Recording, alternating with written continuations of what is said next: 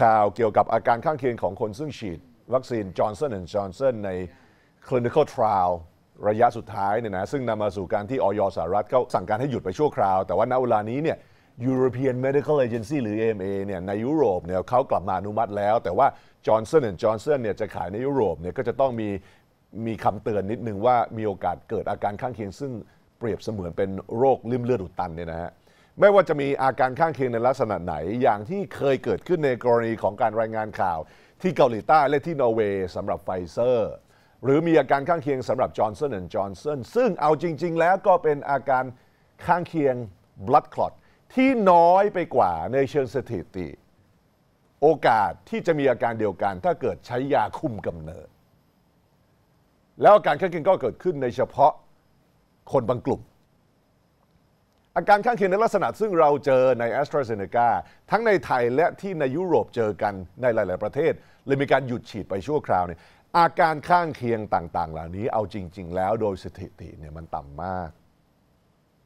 แต่เราถามว่ามันเป็นสิ่งที่คาดการณ์ว่าจะเกิดขึ้นไหมแน่นอนคาดการณ์ว่าจะเกิดขึ้น วัคซีนทั้งหมดต่าง ๆ เหล่านี้ผลิตออกมาอย่างรวดเร็ว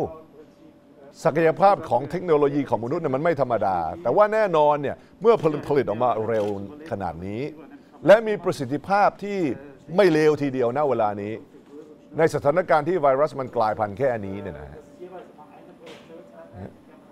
แน่นอนมันมีอาการข้างเคียง แต่ถามว่าอาการข้างเคียงนั้นมันน่ากลัว ถึงขนาดที่ต้องหยุดวัคซีน roll out หรือไม่ไม่ คือเอาจริงแล้วเนี่ยมนุษย์ ซึ่งอาศัยอยู่ในสังคม ซึ่งมีรัฐซึ่งปกครอง และออกนโยบายด้วยการขี่ความกลัวที่ถูกปั่นขึ้นมาโดยสื่อกระแสหลักเนี่ยนะฮะมนุษย์ก็ต้องเลือก ถ้าที่ผ่านมาเราเลือกที่จะกลัวไวรัส ในวันนี้เราเลือกที่จะกลัววัคซีนไม่ได้ ถ้าคุณเลือกที่จะกลัวไวรัส เสร็จแล้วคุณเลือกที่จะกลัววัคซีนด้วยเนี่ยนะอันนี้คุณอยู่ในกลุ่มแคตตากรีซึ่งต้องนอนอยู่ในบ้านคนเดียวยาวแล้วฮะสองสามปี เป็นอย่างดีสำหรับคนซึ่งไม่กลัวไวรัสเลยเนี่ยแน่นอนแล้วก็มาว่าไม่จำเป็นต้องล็อกดาวน์เลย เปิดประเทศ เปิดเศรษฐกิจ เปิดสังคม เปิดโรงเรียน เปิดทุกอย่างได้เนี่ยแน่นอนคุณมีสิทธิ์ที่จะพูดว่าเฮ้ยผมไม่กล้าฉีดวัคซีนผมไม่เอา ผมคือ pure natural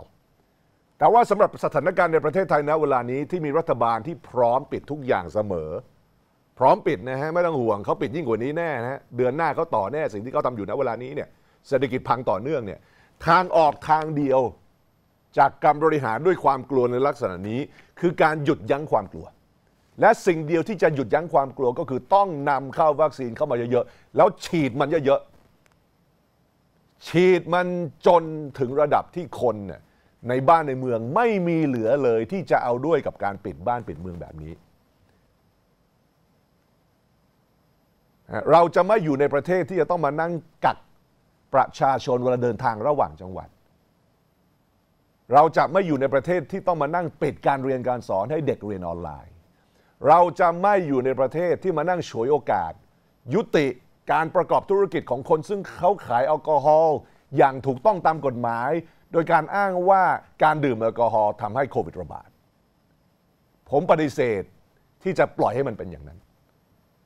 เพราะฉะนั้นยุทธศาสตร์ทางเดียว หยุดความกลัวเอาวัคซีนเข้ามาเยอะๆแล้วฉีดมันเร็วๆแล้วทำให้มันได้ทัน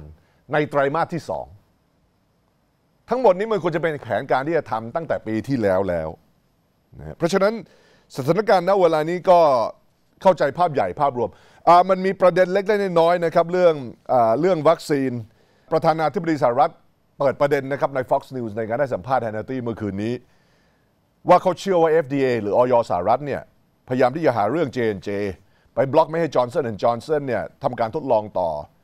แต่อันนี้เนี่ยทรัมป์เปิดประเด็นเหมือนกับว่าเขาไม่พอใจไฟเซอร์และโมเดอร์นาและเขาก็สมควรไม่พอใจไฟเซอร์และโมเดอร์นานะเพราะว่าไฟเซอร์และโมเดอร์นาเนี่ยไม่ยอมออกข่าวว่ามีวัคซีนเนี่ยก่อนวันเลือกตั้ง แล้วตั้งใจเก็บข่าวนี้ไว้หนึ่งวันหลังการเลือกตั้ง ซึ่งเป็นสิ่งที่แย่มากที่ไฟเซอร์ได้ทำและโมเดอร์นาได้ทำแต่ว่า FDA สหรัฐต้องไม่เอื้อไฟเซอร์หรือโมเดอร์นาอาการข้างเคียงของจอห์นสันและจอห์นสันนั้นถือว่าน้อยมาก และในที่สุดแล้วมันก็เป็นวัคซีนอีกยี่ห้อหนึ่งซึ่งสามารถขายได้ในตลาดโลกและในตลาดสหรัฐอเมริกาด้วยทรัมป์กล้าเปิดประเด็นนี้น่าสนใจนะครับ แต่อย่างที่ผมได้เล่าให้ฟังก่อนหน้านี้เฟาซีก็ได้เคยให้ข้อสังเกตไว้แล้วว่าที่เขาหยุดการระงับการอนุญาตให้มีการสั่งขายจอห์นสันและจอห์นสันได้เนี่ยแค่เป็นการชั่วคราวเพื่อศึกษาเพิ่มเติม แต่ว่าเขาเชื่อว่าหลังจากนั้นเนี่ยจอห์นสันและจอร์นสันก็น่าจะขายทำกำไรได้ เช่นเดียวกันกับบริษัทยายี่ห้ออื่น ซึ่งก่อนหน้านี้ได้มีการขายวัคซีนสำเร็จนะครับ